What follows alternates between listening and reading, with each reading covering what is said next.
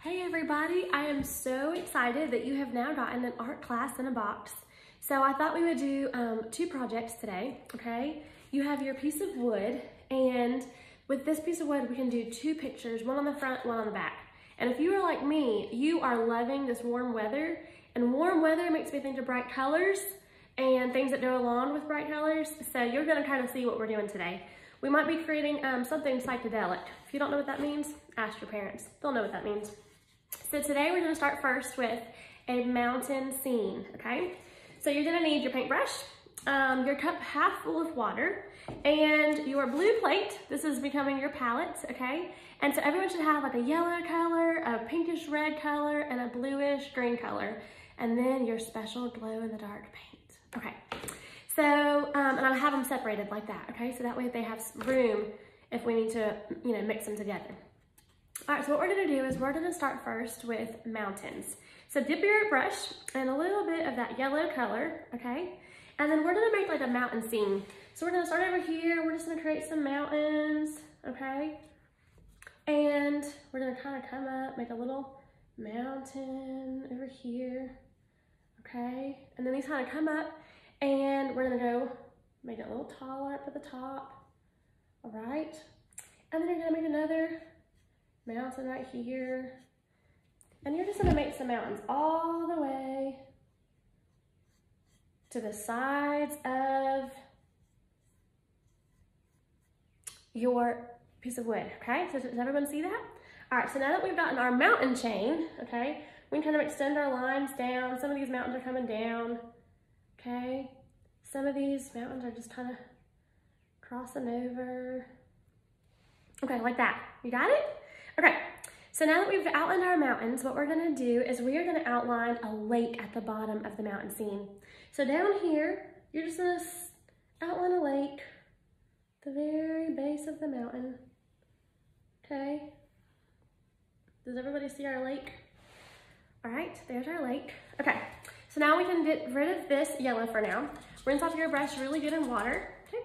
Dab it dry, and then you're gonna fill in all of your sky with blue, okay? So all of your sky will be filled in blue.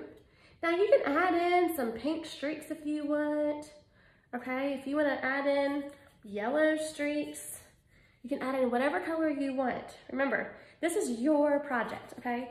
Your project has to look nothing like mine if you want it to. All right, if you want it to look probably better, okay, a little funky, a little cooler, go for it. Okay, this is your picture. All right, so I'm just gonna finish up. You wanna cover up all the wood, okay? All the wood. And wood absorbs a lot of paint, so you might end up needing two or three coats of this color, and that's okay. You've got plenty of paint. I mean, this paint, you can paint 10 more pictures if you wanted, okay? And this paint goes on any surface. So, you can just paint whatever you want in your house. All right, so now that we have our blue sky, okay, ooh, that's looking nice.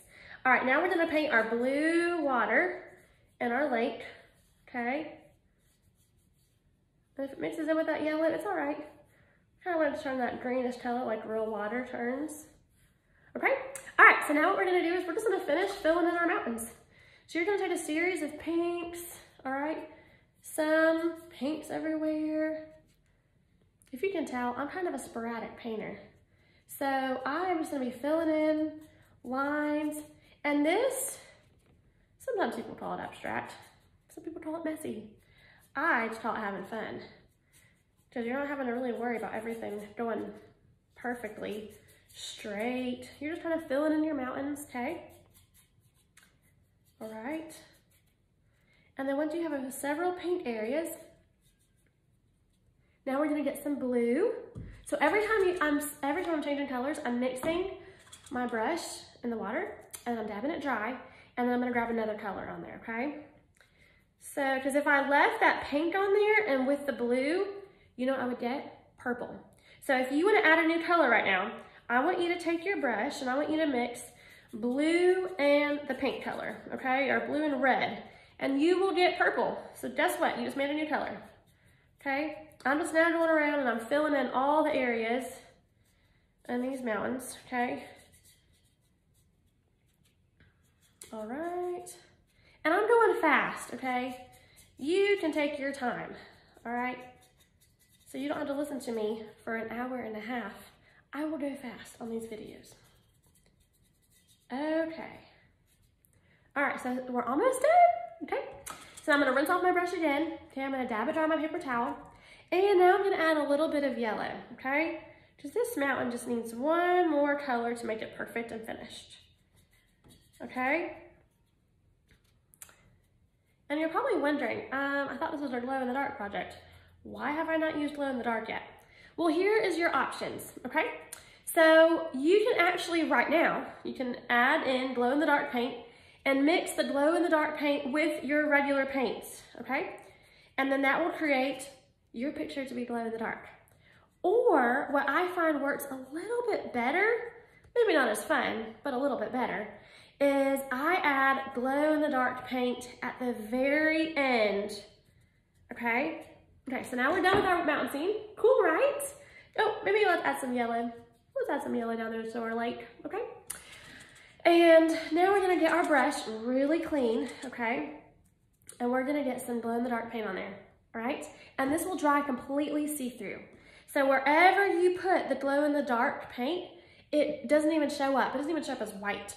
It just dries wherever. So if you want the mountains, I'm gonna make my mountains glow in the dark, okay? So whatever you paint with this paint at the very end, it will glow in the dark. And this paint is activated by mainly by the sun. So put it outside for a little while to activate it, okay? Or put it underneath of a really bright light. All right, and now you have a glow in the dark mountain scene, okay? So this is our first picture that we're gonna do. All right, rinse off your brush really good. And the next one we're gonna do is we are going to make a lemon. Okay, so I figured we would do like one um, long ways and then the other one sideways. So we'll make our lemon like this, okay? Because you probably have figured this out yet, but I get bored easily, so I like to have a lot of options. So if I get bored of my mountain scene, I can just flip it over and create a lemon. So what we're gonna do first is we are gonna get some yellow on our brush. All right, got the wrong color. So get some yellow on your brush and we're gonna make our lemon right in the middle of our piece of wood.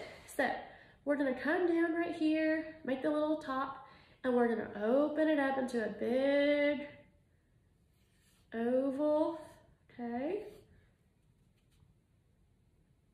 All right. And then you're gonna have a little dip down here. All right.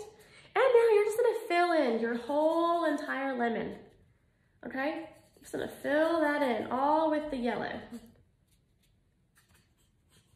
Okay, y'all see that? Filling in all in the, with the yellow, okay? And again, I'm going fast, so mine might look a little sloppy. Okay. All right, so now that you have a filled in lemon, okay, let's make it a little more even. Mine looked a little less round than it needs to look. Okay, this looks more like a lemon that's been sitting outside for a little while. Okay, so now that we have our lemon that looks a little healthier, a little healthier. Okay, so now you're gonna rinse off your brush. Actually, you don't have to rinse off your brush because we're gonna make green. So you can just keep your yellow on your brush and add some blue. So get some blue and some yellow. And we're gonna mix them together until you have the color green that you want, okay? So blue and yellow, I got some green. And now we're gonna make our stem and we're gonna have a little piece in the middle and it kind of breaks off into leaves, okay? And we're gonna do a leaf here and a leaf there, okay? All right. And you can add two leaves. If you want to add another leaf, add another leaf. Do whatever you want. This is your picture. I'm just to add one leaf.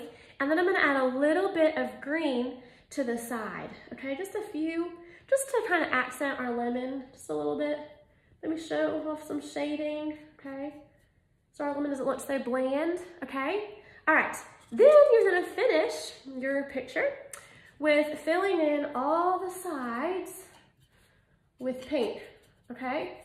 Now again, if you wanna add in another color to pink, go for it.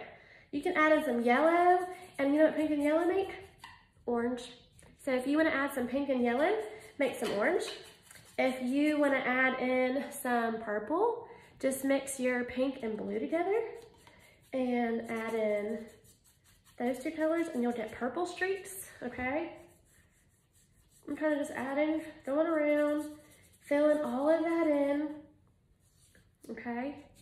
And then in a second, you're about to see your whole picture is gonna be done.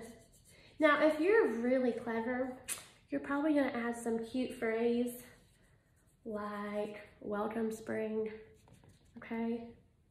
Or when life gives you lemons, make lemonade, you know, something real cool like that. And if you're not great with painting words, a trick I always do is Sharpie. Just Sharpie those words right on. Nobody will ever know that you didn't paint them. All right, so we are almost finished. Okay, fill all that in. And the same, there you go. And the same thing with your lemon. If you want to take it up to a whole new level, you just add glow in the dark paint wherever you want it to glow, okay? Okay, and then remember you're gonna charge it in the sun or under a light, okay? And maybe scare a few people. If you leave it outside on your front porch, when people walk up and they see a glow in the dark picture, they might be a little scared. All right, so we're finished, okay? I hope you had so much fun just creating fun art, okay? Nothing serious. Um, you can do whatever you want, all right? And you have plenty of paint. So keep on exploring, keep on having fun, and you have two more weeks until your next box comes in, okay? So I will see you in two weeks.